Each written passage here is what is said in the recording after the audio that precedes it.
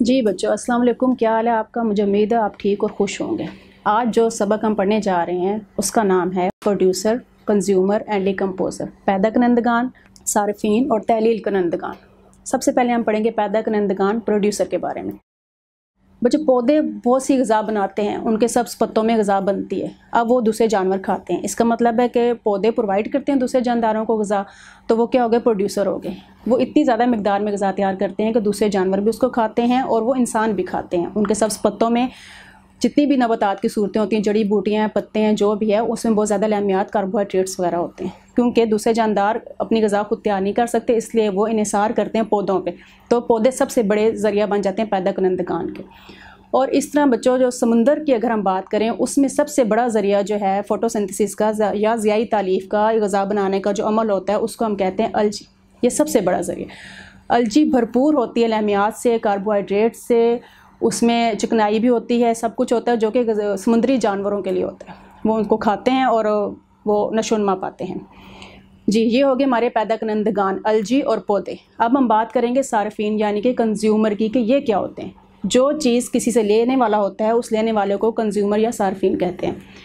अब जब पौधे गज़ा तैयार करते हैं, दूसरे एनिमल्स या इंसान उसको खाते हैं तो वो सार्फिन हो जाते हैं। वो उनसे लेते हैं, क्योंकि वो खुद तो तैयार नहीं कर सकते हैं।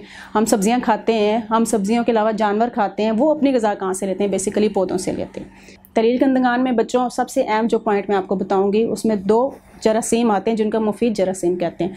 उसमें बैक्टीरिया और फंजाई ये मुफीद बैक्टीरिया होते हैं कैसे?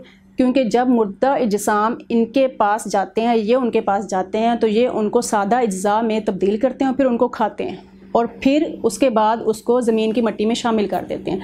फिर वो जो अज्जा होते हैं, वो पौधे खाते हैं और पौधों को आपको पता है, फिर जानवर दूसरे या इंसान खाते हैं। इस तरह ये एक इनका अमल चलता रहता है। दोबारा से डिकम्पोजिंग जिसको हम कहते हैं ना, तलील कंदगान, ये सिलसिला इस तरह चलता रहता है। इस तरह बच्चों, आपने ये पढ़ा कि कौन कौन से जो हैं जानदार, वो गज़ा बनाते हैं और कौन इसको खाते हैं। अब बच्चों, हम जो बात करने जा रहे हैं, वो है फ़ूड चेन की, कि एक जानदार कैसे दूसरे जानदार की गज़ा बन जाता है। अब अगर आपको पता है, बच्चों, मैं मिसाल दूँ तो चूहा जो है, वो पौधों के बीज खाता है और फिर उस चूहे को कौन खाता है? सांप खा लेता है। और उस सांप को कौन खाता है? उल्लू। तो इस तरह गज़ाई चेन बन गई, यानी कि एक जानदार खुद ही दूसरे जानदार का निवाला बन जाता है। इस तरह ये प्रोसीजर चलता रहता है। इसकी एक छोटी चेन भी हम कह लें, जैसे कि पौधे हैं, पौधे को जानवर खाते हैं और जानवरों को इंसान खाते हैं। एक छोटी चेन बन जाती है, क्योंकि आगे से इंसानों को कोई नहीं खाता।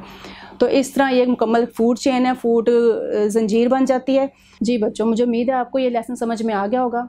अब आपने होमवर्क में क्या करना है? आपने तीनों जो प्रोड्यूसर कंज्यूमर डिकम्पोज़र पैदा कंदगान सार्फिन और तहलील कंदगान में जो जानवर आते हैं, वो किस तरह की अपनी गज़ा तैयार करते हैं, उनकी डायाग्राम बनानी है और उसको कलर करनी है। और एक पिक्चर आपने फ़ूड चेन की बनानी है, जो मैंने ही आपको बताई है कि बीज चूहा खाता है, फिर चूहे को सांप और सांप को उल्लू खाता है। ये चीज़ आपने ड्रा करनी है और इसको जेनशीन कर लेना है। हम नेक्स्ट सबक साथ फिर मिलते हैं। ओके अल्लाह हाफिज़।